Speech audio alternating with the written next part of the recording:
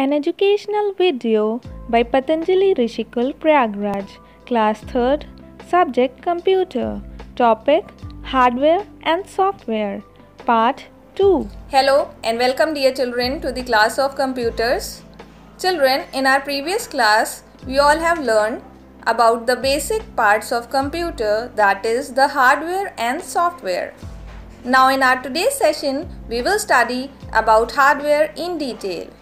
So let us begin with our class. Children, previously we have learned that computer is made up of different parts that work together to form a computer system. The two basic parts of a computer system are hardware and software. Let us learn about hardware.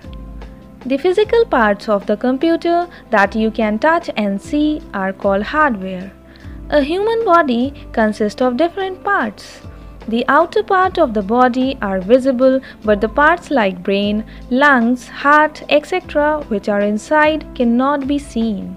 Similarly, in computer, we can see the parts of the hardware that are outside. Example, monitor, keyboard and mouse. They are attached to the CPU by cables. Some parts of the hardware are inside the CPU. You can see them only when you open the body of the CPU box. Example, hard disk, CPU chip, etc. Hardware of a computer is further divided into input, output and storage devices. Input devices these are special type of hardware devices that are used to input words, numbers, sounds or picture into the computer. These are called input devices. Example keyboard, mouse, joystick, microphone, etc. There are some more input devices. Number 1 trackball. It has a ball on its top. To move the pointer on the screen, roll the ball with your finger. Number 2 scanner. A scanner copies a picture or a text printed on a paper into a computer. Number 3 Web camera. It is primarily used to share pictures and have live chat with our friends and relatives using internet. Number 4. Microphone.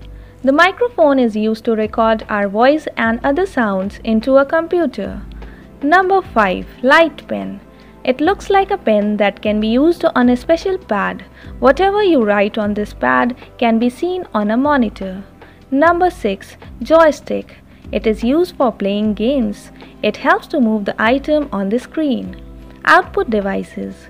The devices which displays the information and result are called output devices. Examples monitor and printer. Monitor. The monitor looks like a television screen. Whatever you type on the keyboard can be seen on the monitor. It also displays the processed information. Printer. It prints the output that you see on the computer screen on paper. Speakers.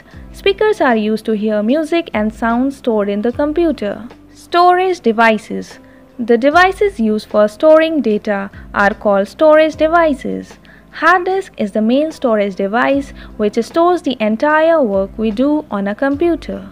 Other important devices like CD, pen drive and DVD are also used to store information. CD. CD stands for compact disc. It is a round, flat and shiny disc that stores a lot of information. Hard disk. It is a device which stores huge amount of data and information present inside the CPU box. Pen drive. It is a very small in size but can store and transfer data from one computer to another. It can be handled very easily. Thank you, my dear children.